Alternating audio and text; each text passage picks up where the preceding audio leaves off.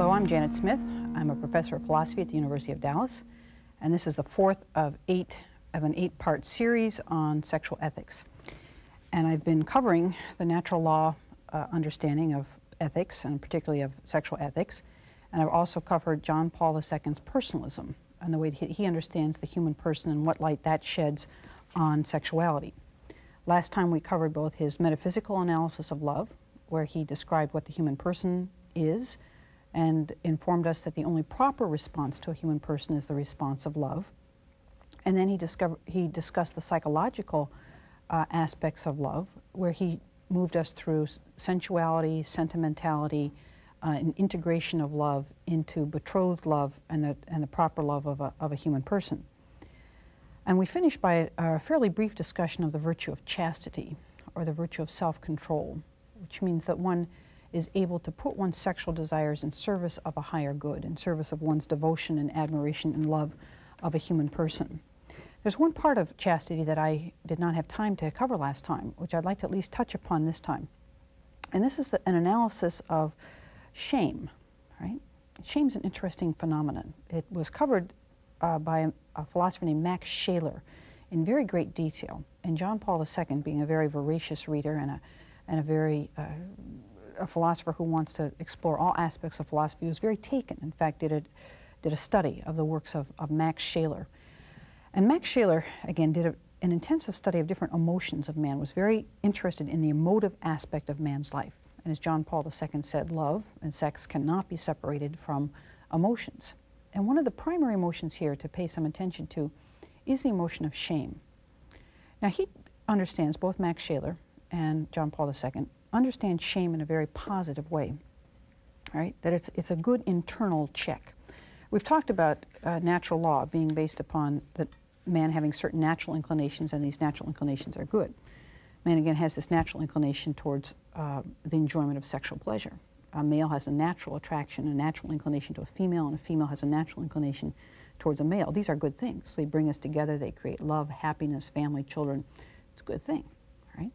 But at the same time, as we've mentioned earlier on, acting uh, indiscriminately upon one's passions and one, on one's emotions and one's desires and inclinations can be disastrous.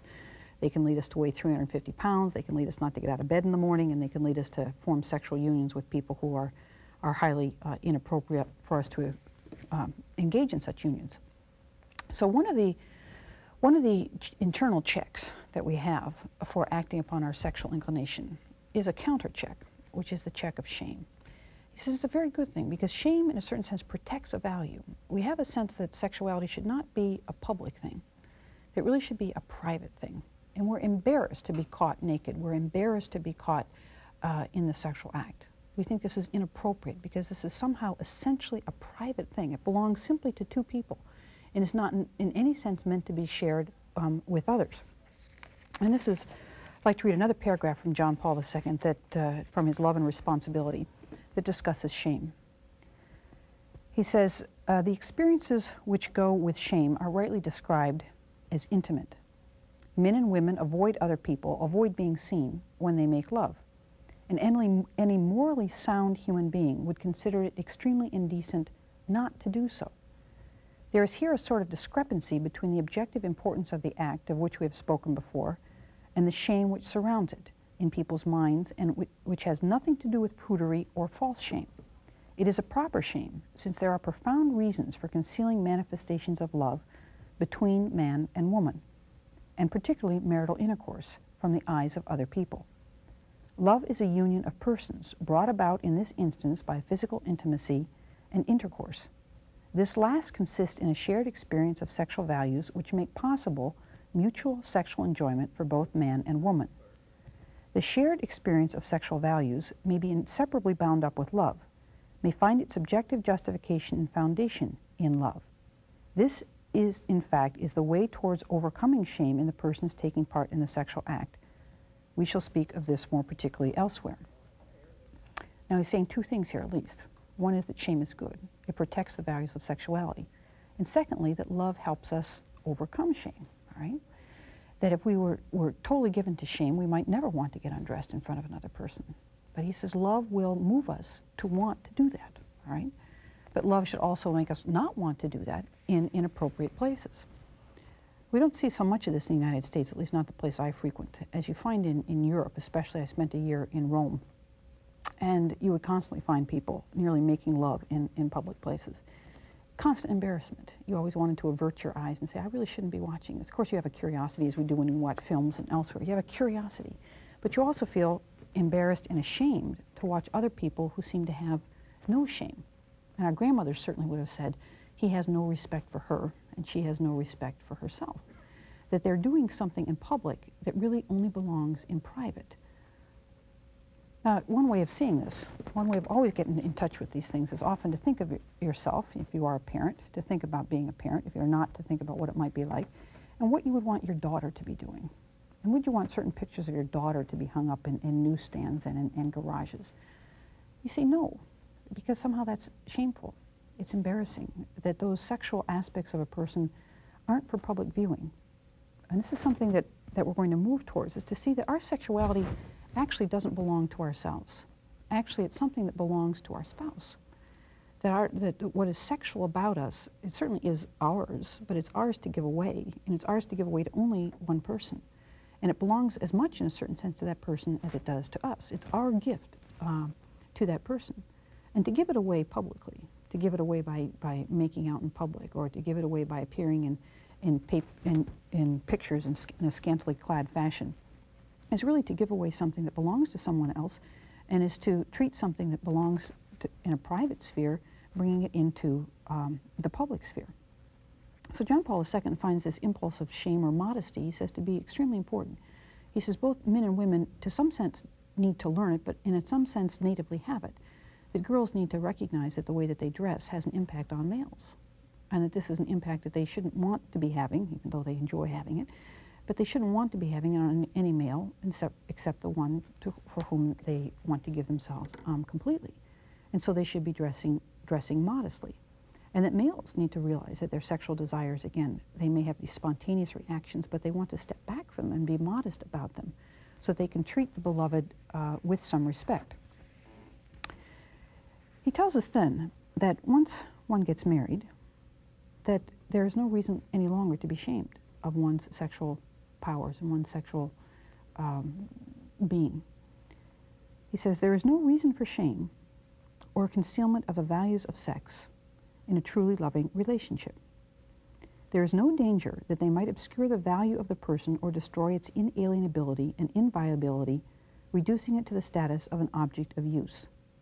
There is no longer any reason to be ashamed of the body once the positive urge to inspire love, which is a part of that shame, has met with an adequate response. Okay?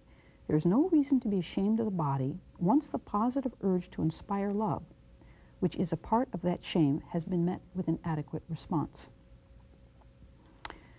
Now, what does this mean? It means that this love, again, has, this sexual urge has been met with an adequate response. It's been put in a relationship where all those goods of sexuality can be realized and honored. And one no longer needs to be ashamed of these sexual impulses. One needs to say, now they're just, they're delightful. Uh, I remember one of my friends who, again, he and his wife had, had enjoyed the incredible uh, and considerable accomplishment, I don't know if it's incredible, but considerable accomplishment of remaining chaste before marriage. They did not have sexual intercourse before marriage and because they greatly loved each other and they knew that this love could carry them into marriage and there'd be something damaging to their relationship if they had sexual intercourse before marriage. And I remember shortly after he was married, you know, he had this great sort of um, the cat who ate the mouse grin. And he said, you know, now everything is okay. Everything that before we tried to stay away from is now okay. And this amazing sense of euphoria, this amazing sense that we have protected something as a great gift and now we can enjoy it without any sense of dirtiness or naughtiness about it. And I've heard people speak in this way, people who've had sexual intercourse before marriage. One woman told me, she said that she and her husband, um, it took years for them before they were able to have sexual intercourse without thinking of it as being naughty. Because they had had sexual intercourse before marriage. And of course they were ashamed they would run around and sneak here and there and hide here and there and lie about it. So all of a sudden, sex seemed to them to be something naughty. Whereas my friends who had remained chaste before marriage, sex didn't seem naughty at all. Sex seemed to be something that was absolutely a beautiful expression of the love between the two of them. So this is what he's been saying here, is that if you, if you keep sex for the proper place, which is marriage, you're going to have this wonderful experience that's free from shame, free from embarrassment, that it allows you to be spontaneous and free because you have treated the other person as a person by remaining chaste until marriage. And so you are able then to enjoy sex with this person as something that is, again, free from shame. Now we're going to move to another uh, phase of the discussion where we'll be covering what are different violations of the goods of sexuality. But we'll review in more or less our, our natural law way, to some extent with personalism drawn into it, what are the norms and values of sexuality. If you want to do some additional reading on this subject, you'd want to look at the Universal Catechism and also a document that was put out in 1975 called the Sacred Congregation for the Doctrine of the Faith uh, in Latin, Persona Humanae. And in this are, are covered many of the different, again, sins against sexuality, different violations of the goods of sexuality. Now, we've been talking again with natural law, saying we have this natural inclination, this natural desire to have sexual intercourse. Again, we want to say, but it has to be in accord with the truth. We have to act in accord with what is true. We can't make reality be what we want it to be. We have to live in accord with it. Some people want to say, well, I can have sex outside of marriage and not get hurt. I can have sex with a mistress and not get hurt. You say, can you? Can you really? Is it really possible? Or is there a certain reality that sex, again, is an expression of love for another, it's for union and intimacy, and that sex means that you must respect the personhood of the beloved, you must love the beloved. And so we're saying here that, that there, excuse me, I, I skipped this, that sex is the uh, source for, I'm not, not cer certain how we have it, sex is the, the source of new life. We have these two goods of, of sexual intercourse. One is it's for union, and one is it is for babies. And this is what happens again when you have sex. And if you're not prepared for these eventualities, you ought not to be having um, sexual intercourse. So we can formulate, if you want, a general rule or principle or a norm, and you say you should act chastely in regard to your sexuality. You should use your sexuality responsibly. Now the question is, what does that mean? What does it mean to use sexual intercourse again responsibly? Our claim here is that if you're going to express intimacy or love for uh, another, then you have to respect again the personhood of the other. We're going to talk about this. We're going to move very quickly to the notion of monogamy and faithfulness and indissolubility are all ways in which you respect the personhood of the beloved. We're going to talk about sexual intercourse as the source for new life, and we formulate a principle respect the goods of procreation, be prepared to meet the needs of children. We're going to talk about different ways which are violations of this kind of good behavior. Now, we're moving from what we call general precepts to particular norms. Right? There's always two kinds of norms there are negative norms and positive norms, negative precepts and positive precepts.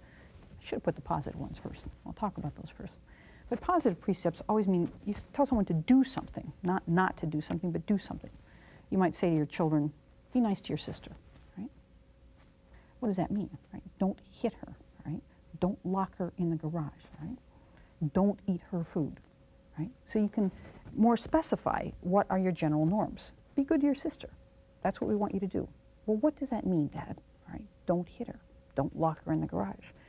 There's much more than just obviously not hitting and not locking in the garage, but if you're doing those, you know you're going wrong. Be nice to your sister means to help her, to be kind to her, to, to uh, make her feel good about herself. But we know some things that are absolutely incompatible with being nice to your sister, right? So we were talking about you should protect the good of union. And we could say things, be faithful, be thoughtful, seek the happiness of the other.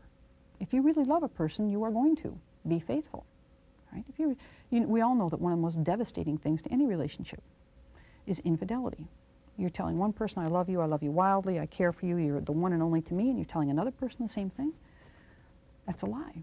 And we feel lied to. We feel betrayed. We feel very hurt. So someone who truly loves someone is going to be faithful, be thoughtful, seek the happiness of the other. You say, well, can we be, be more specific? Are there certain activities, again, that are totally incompatible with this? Again, no adultery. Adultery is absolutely incompatible with protecting the good of union. It's absolutely incompatible with being faithful. You say, well, dear, I love you. I love you. I've married you. Uh, well, yes, I find her attractive too, but I married you. We're not convinced by this, all right? We understand that if someone truly loves us, again, we have this exclusive relationship with this person. It's an act of total self-giving.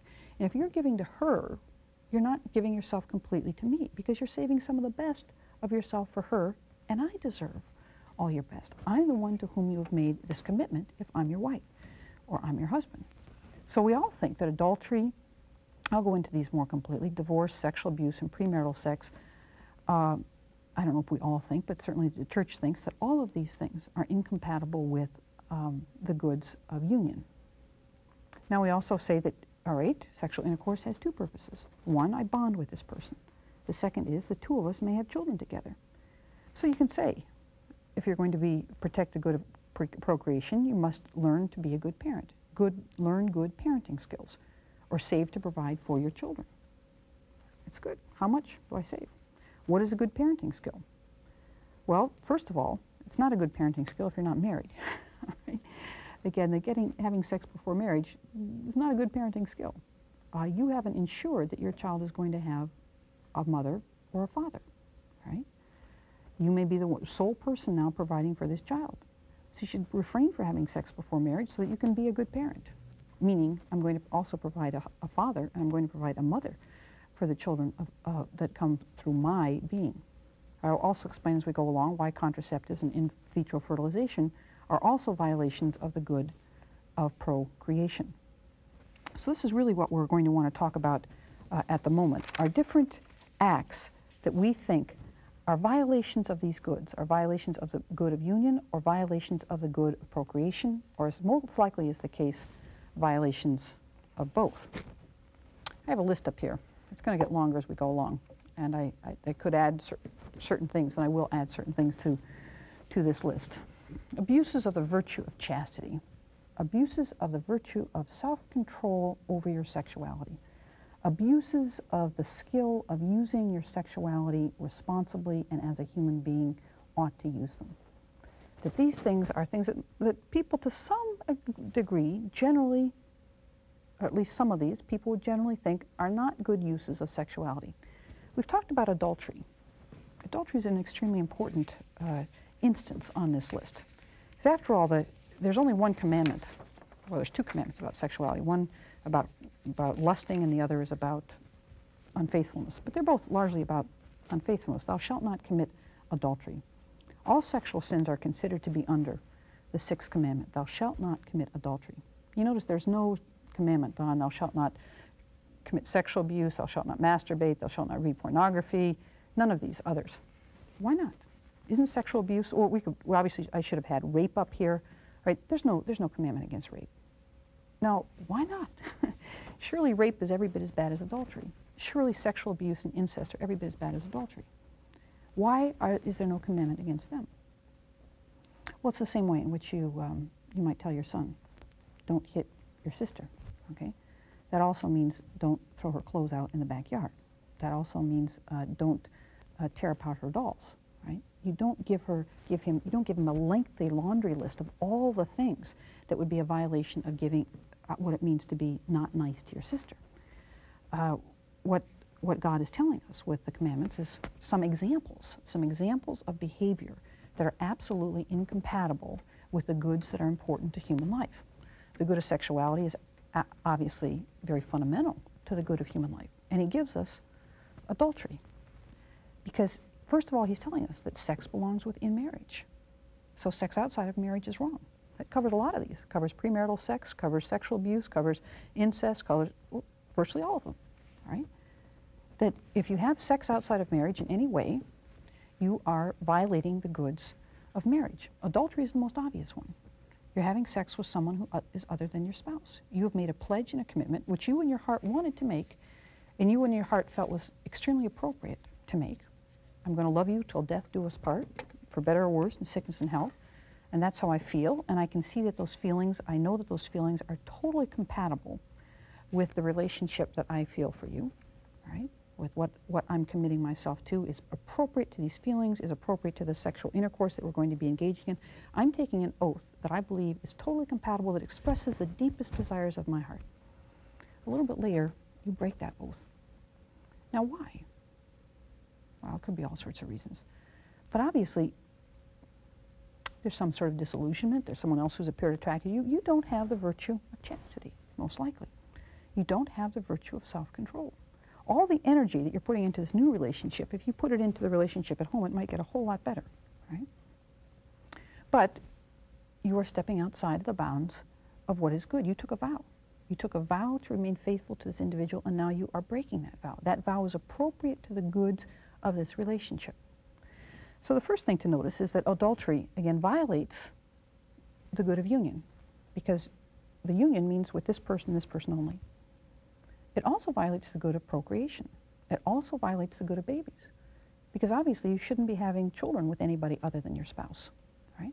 So if you're having sexual intercourse with a mistress or with some man, if you're a woman, right? You could bring a child into this world, a child which the two of you are not prepared to be parents for. So adultery violates not only the good of union, but it also violates the good of uh, procreation. It also violates probably the good of the children who are at home, right? He's, the adulterer, the man or the woman, are putting his or her energies into courting someone else, uh, being with someone else, giving all your, we only have so many energies in a day, you know come home tired after work, uh, wanting to play with people, wanting to be nice to them, wanting to engage, listen to their interests and everything. That takes energy.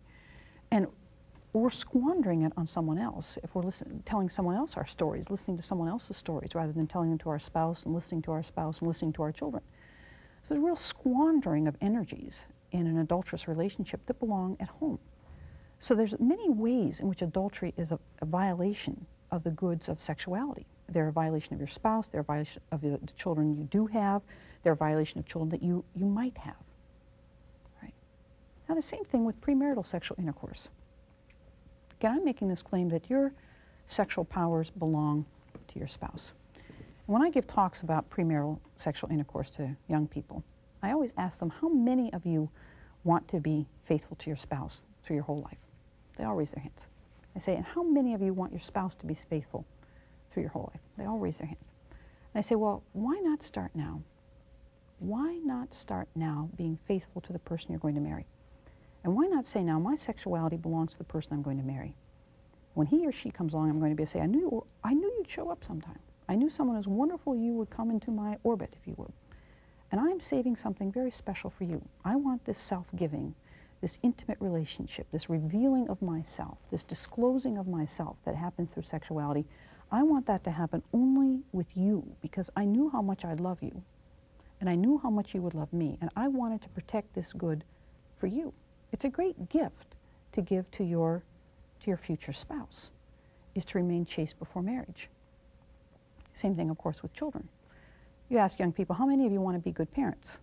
They all raise their hands. How many of you want to have a father around? They all raise their hands. How many of you want to have a mother around? They all raise their hands. Right? How many want to have both? They all raise their hands, right? So I say, when we know if you have sex outside of marriage, you could be putting yourself in the position of having a child for whom you wouldn't be providing a mother or a father, right? That you would be causing this child to be raised in a single parent household. Now, I have, obvious, I have family members, I have good friends who are single parents and they're doing a great job. But they too would agree that they'd much rather have a spouse around to help them out, to be the other parent to the child, right? I'm not saying that any child raised in a single parent household is going to turn out terribly, nothing like that. But that all of us would prefer to have a mother and a father around and to provide a mother and a father for children, and that by having premarital sexual intercourse, you're putting yourself in a position where you could be creating a situation for your children, the children you're going to love more than any other children, which isn't good for them. There are many other problems with premarital sexual intercourse that we, we can see, I think, uh, maybe more clearly having discussed John Paul II's understanding of the development of a loving relationship. That premarital sexual intercourse, in a certain sense, short circuits this process of growing in love, and growing in sympathy, and growing in friendship, all right? And growing in this respect for the other person as a person.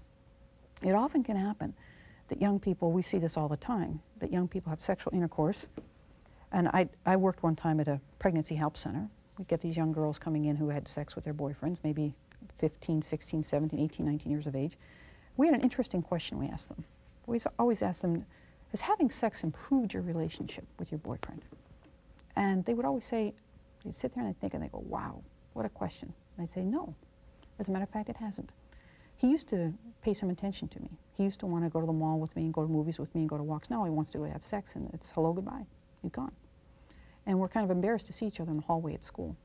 Uh, I wonder if he's talking about me with the guys in the, in the locker room. I don't know, right? Now, if you're married, you don't have those worries, right? If you're married, you have a complete life with each other. But, but before you get married, you sort of, you use each other and you feel embarrassed about it. And you may not be getting to know each other very well. Sex can loom very large. As John Paul II says here, sex is, is, is an intensely pleasurable response. Again, you can bond with this person who you might not much like, right? And you will find yourself uh, having a relationship with someone who might not be a suitable uh, person for you. I talked a minute ago about some friends of mine who had had sexual intercourse before marriage and that their experience after marriage then was that they thought sexual intercourse had a sort of naughty um, flavor to it. And it took them quite a while to, to be free and spontaneous and feel that they in fact were doing something good and not doing something naughty. Much of that can happen again with premarital sexual intercourse. Most people having sex outside of marriage are in a certain sense sneaking around. In the modern age, you can be more open about it. But there's usually a period of time where you're lying to people. You're lying to your friends or your parents or your teachers or someone. It's not a good idea to get in the practice of lying. It's not a good idea to get in the practice of lying about uh, your most intimate relationships. It's not a good idea for the person who loves you to know that you are successful in deceiving people about what you're doing. Because you get married, and after you get married, you say, well, he was very good at lying to his parents. She was very good at lying to her parents. Maybe she's very good at lying to me. There's something intrinsically dishonest about premarital sexual intercourse that causes uh, great problems, it seems to me, for marriage um, afterwards.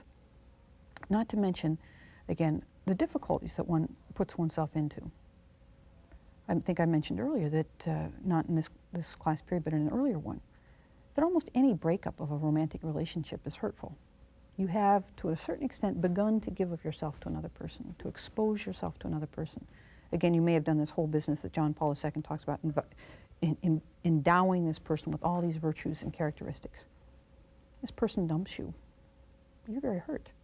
Or you might become very disillusioned. I thought he was this way and he's that way, I'm going to dump him. One or the other or both get hurt. If you've been involved in a sexual relationship, that hurt is all that much greater. And your ability to really give yourself completely to another person in the future might actually be diminished. You might say, I've lied to people before. I've told them I've loved them, and I guess I didn't. Other people have told me that they've loved me and would be with me forever. They weren't. Who can I trust? Can I trust myself? Can I trust other people? There's an incredible amount of over-involvement with uh, premarital sexual intercourse that gets you more deeply involved with this person before you have really pledged the kind of involvement that you've gotten yourselves into. There's many reasons um, for refraining from sexual intercourse before marriage. Primarily, again, because it violates the goods of sexuality. It violates the goods of union, it violates the goods of, of procreation, and it also treats the other person as though that person uh, weren't deserving of a lifetime committed, uh, loving relationship. Now, we can look at maybe one more of these before we stop for this, this class period. Divorce, again very difficult. 50% of marriages in our society uh, end in divorce.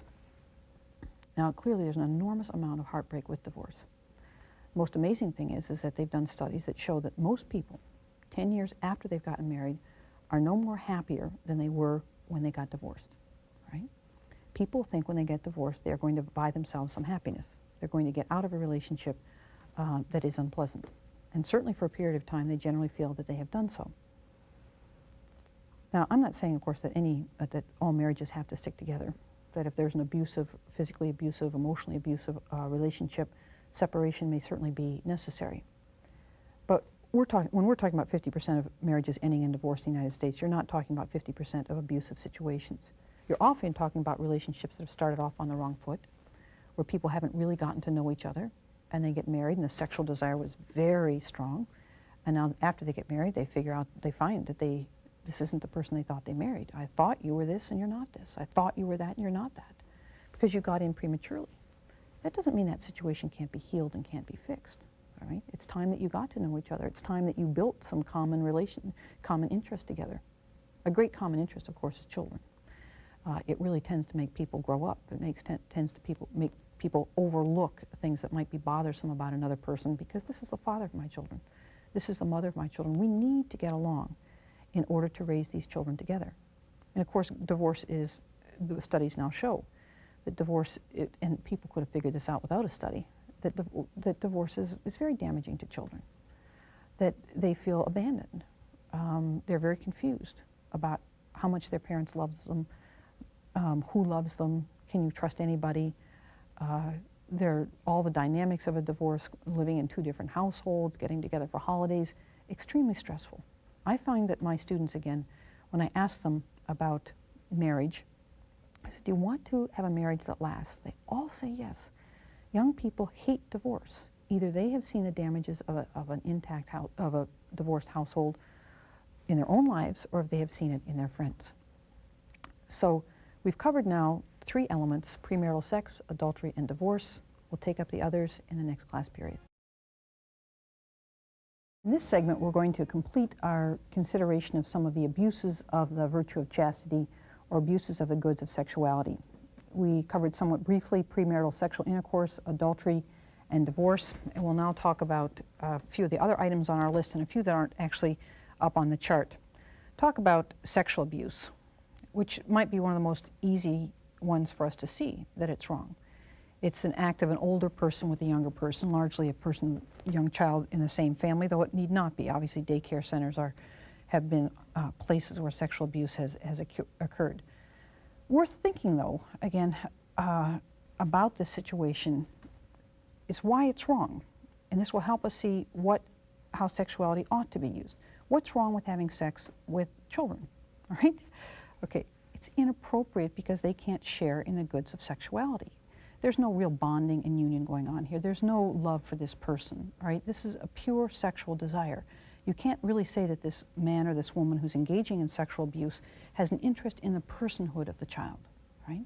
Obviously, um, perhaps the children, child is even pre-puberty, but there's no interest in the goods of procreation in this union.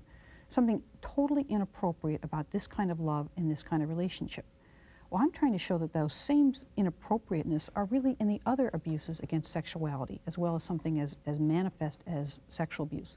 Another one I don't have on the chart is rape. It's another one. I often start when I'm teaching sexual ethics to college students with the act of rape. And I will ask them, we all agree. We all agree that sexual abuse is wrong. We all agree that uh, rape is wrong. I'll say, why, why is rape wrong? Why is it so obviously wrong? Right? Well, because it's, it's against the will of the woman and it's a violent act. You think both of those things are completely incompatible with love, right? Violence is incompatible with love, and doing something against the will of a person is incompatible with love. And since sexual intercourse should be the expression of love, since sexual intercourse should be the expression of love, rape is clearly incompatible with love. But then when you look at this, when you say, all right, the personhood of the woman should be respected, I want to ask, is a personhood of the woman being respected with premarital sex, with adultery, with divorce? I've given reasons why I think there too, the personhood of the woman is not being respected. Obviously, those acts aren't acts of violent sexuality, but still you're not looking out for the well-being, the full well-being of the personhood of the other individual uh, involved. Well, let's talk about the act of masturbation. It's a very controversial act in our day. Many psychologists think that it's just a natural act. It's a, another alternative form of sexual expression, that it's a phase that people go through in their life, maybe at different times in their life, whereas the church again calls it another sin against the goods of sexuality. Now, sexual intercourse is stimulating one's own sexual organs for the purposes of sexual pleasure. And as John Paul II said, the body shows the, the body shows that it's meant for union with another. Our sexual organs are clearly made to fit with the members of the opposite sex sexual organs. That's what they're for. And to use them for your own self-pleasure, again, turns back on yourself something that you should be offering to your beloved spouse, right? Uh, Aristophanes, in Plato's dialogue, the Symposium, has a wonderful portrait of love. He, the whole symposium is trying to define love. And at one point he says that, well, really love is what we were initially. He says that human beings were initially one big ball, that we had four arms and four legs and four eyes, and no genital organs because we were all bound together. But we got cut in half. And when we got cut in half, all right, that's when the genital organs came into being. And that we spend our whole life sort of chasing around, trying to find our other half, trying to find our fit. There's something wonderful again about sexual desire for that reason. It brings us out of ourselves, right? If we had no sexual desires, right, the possibility of women really wanting to relate to men or men really wanting to relate with women might be somewhat minimal, right? That one of the major motivating factors for us learning social skills, for us to learn how to, to, to talk to people, how to be polite, to learn manners, is because we want to be attractive to a member of the opposite sex. And masturbation, again, turns that sexual impulse inward instead of saying, my goodness, you know, I've really got these sexual desires, I've got to learn how to integrate them into the whole of my life. I need to find myself a spouse. I need to find myself who, someone who will love me and make it that I would never think of having to uh, engage in an act of, of uh, self-stimulation.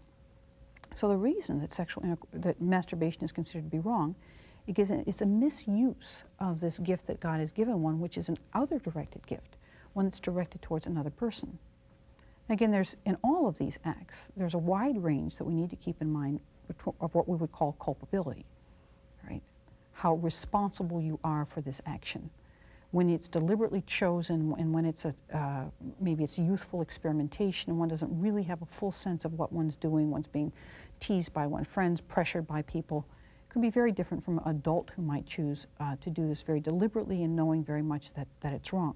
So one thing to keep in mind with all of these actions, and it will come into play, I think, particularly with our discussion of homosexuality, is there's a wide range of what we call subjective culpability for any action. Who is actually fully responsible for the kind of acts that they engage in? In fact, sexual abuse, or even particularly, you might say pedophilia, we're not altogether clear on how much moral responsibility those who engage in such an act have. They seem to have some sort of split in their psyche between themselves as sort of an adult human being, responsible human being, and someone who does these other actions. And it might really be a profound psychological disorder more than a, um, a moral act that engages the full human being. Incest, again, is very much like sexual abuse. It's the having sex with someone with whom one ought not to. It's a form of sexual abuse. Again, this draws us to, again, most of us would readily see that incest is wrong uh, and we're even offended by some movie stars who have uh, sexual intercourse with their adopted or adoptee uh, daughters, that we think that this is a violation of the relationship, that there's certain loves and there's certain expressions of loves that are appropriate to certain relationships. A love for a father for his daughter, a mother for her son, a brother for a sister, is one kind of love in which sexual expression is absolutely inappropriate.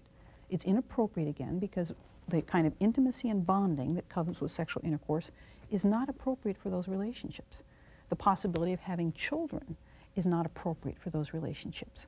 So this notion, and there are modern um, thinkers, psychologists, even philosophers, who think that wherever you get your sexual kicks, it's okay, right? We're just bodies, and another body might satisfy us, whether it be a child, be a relative, be a member of the uh, same sex, it doesn't matter, right? Whereas the church says it does matter. There's a certain sort of love that's appropriate for sexual intercourse, that's, that sexual intercourse is the appropriate expression of a certain kind of love. And if that love isn't present, i.e. the love between male and female within marriage, then the use of the sexual powers is inappropriate. The final one I have up here is polygamy. I also should have put up uh, prostitution as being uh, a violation of the virtue of chastity or the goods of sexuality. Polygamy obviously is having many wives. Many cultures have thought polygamy is moral. Uh, the Catholic Church says that only monogamy is moral. That again, a person desire, deserves, in a certain sense, the uh, um, focused love of one other person, the unconditional focused love of another person, and polygamy would be a violation of that. Prostitution is selling something that should only be given away, and it should only be given away, obviously, from what I've said, uh, within marriage. Sometimes pondering why we have these immediate gut reactions to the evil of prostitution, to the evil of rape, to the evil of sexual abuse, to the evil of incest, can help us get at what is the appropriate use of sexuality and why sexuality belongs only within marriage. Now, the final topic I'm going to discuss in this segment is homosexuality. A couple of texts I'd like to recommend on this topic. One is two of them are written by the Congregation for the Doctrine of the Faith. One is the Declaration on Certain Questions Concerning Sexual Ethics. The second is the Letter to the Bishops of the Catholic Church on the Pastoral Care of Homosexual Persons. These are both, again, largely theological documents with an uh, emphasis on natural law, readily available through such sources as the Daughters of St. Paul. Another book that's of extreme usefulness is by John Harvey called The Homosexual Person New Thinking in Pastoral Care. Father Harvey is also the founder of Courage, which is a national organization, unfortunately not in every city and sometimes uh, not readily available to people, but an organization that helps uh, homosexuals live with their homosexual orientation. Father Harvey has had uh, decades of experience of care for homosexual persons and is, has done a marvelous job in helping us think through how to help uh, homosexuals live with their orientation. John Nicolosi is a psychologist uh, who has written this book, Reparative Therapy of Male Homosexuality. He's one of the founding members of NARTH, the National Association for Research and Treatment of Homosexuality. Uh, he belongs to a group of psychologists and psychiatrists who think that homosexuality is a treatable condition, right, which is at odds with the current view of the American Psychiatric uh, Association. Now, there's few topics that require greater sensitivity um, than that of homosexuality. It's a condition that actually remains very little understood, both by psychologists and uh, by the general public. It's not even agreed on how common homosexuality is. Uh, you can hear statistics as high as 10% of the male population has had a homosexual experience, down to under 2% really have a true homosexual orientation. Um, many people claim to have uh, an attraction, uh, uh, their, that their sole attraction, sexual attraction, is to members of the same sex. Other people will say that at, at, times in their life they've been sexually attracted to members of their own sex. So I guess you would call the, the, the, true homosexual one who says he's not, he or she has had no sexual attraction for members of the opposite sex. But many people, again, there's a broad range that people during their lifetime often will have uh, an attraction to the member, to some, a member of their own sex, maybe having a particularly intense relationship, an intense friendship, particularly you might say during adolescence or college uh, time in your life perhaps where you might be extremely lonely and alienated and particularly unsuccessful with the opposite sex, a member of the same sex might then um, hold some sexual attraction, which wouldn't mean necessarily that you are, in fact, uh, a homosexual. Now, many in modern society would like to proclaim homosexual sexual acts to be recognized as completely moral and would like homosexual unions to be treated as legitimate uh, alternative life arrangements or modes of partnership or families or unions. But it's been throughout the whole tradition of the Judeo-Christian thought that homosexuality, homosexuality has been considered to be incompatible with God's plan for sexuality. That's clear both in Scripture, though there are those who challenge readings of Scripture, uh, certainly within the tradition and even with natural, certainly with natural law principles that the church has taught that the only proper sexual activity is between a male and a female who are married to each other and who are open to having children. Now, in a sexual intercourse is meant to be an expression of love between those of the opposite sex and who are married to each other, and that sexual intercourse uh, between members of the same sex is considered to be a misuse of the gift of sexuality. It does not serve to create a bond between male and female. It can't serve the purpose of bringing forth new human life and in fact it creates an inappropriate bond between members of the same sex. Some people would say that the wrongness of homosexuality is perfectly obvious, again, when you consider the fit that there is between the genital organs of the male and the female. That this is clearly the kind of union that God had in mind, that God made male for female and female for male. Yet we have this phenomenon that we have people who claim, and we have no reason to doubt them, obviously, that they're that they feel very attracted to members of their own sex and they feel that this attraction is one that is permanent and they feel that it is irreversible. Some people, again, have that attraction perhaps to one particular individual at a particular time um, in their lives. Again, we have very little information or knowledge on the source of this attraction. Uh, most pe people claim that it's not chosen. It's not something you sort of say, well, I could either be a homosexual, homosexual or be a heterosexual. I can choose most people don't feel that it was chosen. It feels that something that, that they have, whether they were born with it or whether it was the result of some early childhood experiences. uh, they really don't sense that it was something that they said, I could be either homosexual or heterosexual, I will choose. The American Psychiatric Association has held various positions uh, on the subject and how normal it is and how it comes about, which shows more than anything else that we simply don't yet understand. Now, some people want to claim again that the homosexual orientation is, is natural and normal. Uh, some people are born with blue eyes, some people are born with green eyes, some people are born heterosexual, some people are born homosexual. It's just something that's given to us uh, at birth. And since they think it's natural, uh, in that sense, being innate, being born in someone, they would say that uh, then we shouldn't disapprove of it. Uh, we shouldn't consider it a disordered condition if it's one, in fact, that you're born with and you can't help. In fact, some people claim that there's even some evidence that there is some genetic uh, predisposition to homosexuality. That's questionable, but even if there were, this doesn't necessarily uh, challenge the church's teaching that homosexual, homosexual, the homosexual condition is an unnatural and disordered uh, condition. Uh, why is that? If we could say that this individual seems to have been born this way, we might even be able to identify the gene which uh, makes for homosexuality. How could we say that it's an unnatural condition? Well, natural doesn't simply mean what you're born with. Again, you might be born without an arm. That wouldn't be natural. It's natural to have two arms. You might be born blind, and that's not natural. It's natural to have eyesight right? So the word nature here means much as we were talking at, at the first segments of this uh, series. Natural means what's in accord with the, with the nature and the dignity of man, man in his wholeness and man in his perfection. And we could be born, and we, most of us are born, with different propensities uh, to things that we ought not to follow up on. Some of us are, seem to have been born irritable, right? Some people seem to have been born generous. Some people seem to have been born kind of mean. Some people seem to have been born extremely patient. say, where do they get this way? You say, I've been trying for years to be that way, and I, I can't seem to, to pull it off. And you look at their parents, and their parents are sanguine like that. They might be even tempered, and you say, well, it seems to be genetic, or it seems to be they've been raised that way. Well, we, there's some evidence that uh, some ethnic groups have a greater propensity, say, towards alcoholism than, than other groups. It seems like it might be uh, genetic. And you say, well, th that genetic condition then doesn't make it uh, right.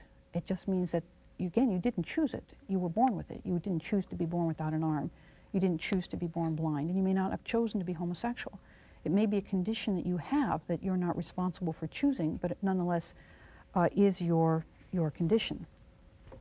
Let me just put a few these little bullets up here. You might follow some of this as we, we go along.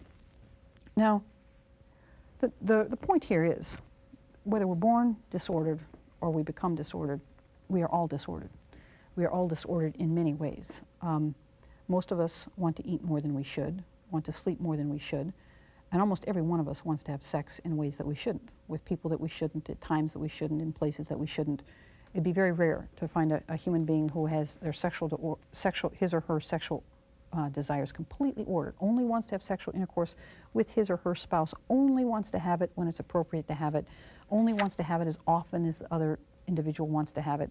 It doesn't happen all right? We are in what's called a fallen state, all right? We are all uh, um, living in the aftermath of the fall, in the aftermath of original sin. So simply having it, calling it a disordered condition, many people are offended that, that, uh, sexual, that homosexuality might be called a disordered condition, that it would be unnatural. And they say that this seems derogatory uh, towards homosexuality and somehow deserving of special censoring uh, by the church. I'm certain that some people have understood it that way. I'm certain the church does not mean it that way. Uh, that if one finds oneself with a homosexual orientation, it doesn't mean that one is a horrible human being or, or worse than the rest of us, right? It simply means that one has a particular difficulty to struggle with. Uh, again, those of us can find ourselves being lazy or greedy or irritable.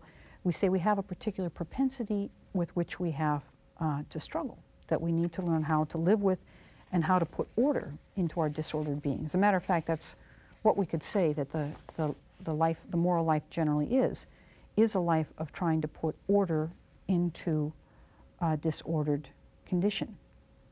So it's extremely important to understand, it's extremely important to understand that the church does not teach that the homosexual condition, if one has a homosexual orientation or even a momentary homosexual desire or even a homosexual desire over a certain period of life or even if you feel that it's permanent, that you are therefore sinful or bad because you have that orientation. There is nothing of that in the church's teaching.